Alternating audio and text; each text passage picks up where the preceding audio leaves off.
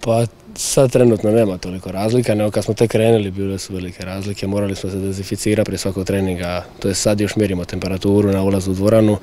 ali kad se uđe na teren nema razlike, jednostavno fajt je od početka do kraja, treniramo, radimo taktiku i jedva smo dočekali da to sve zapravo krene. Moramo biti pažljivi svi moramo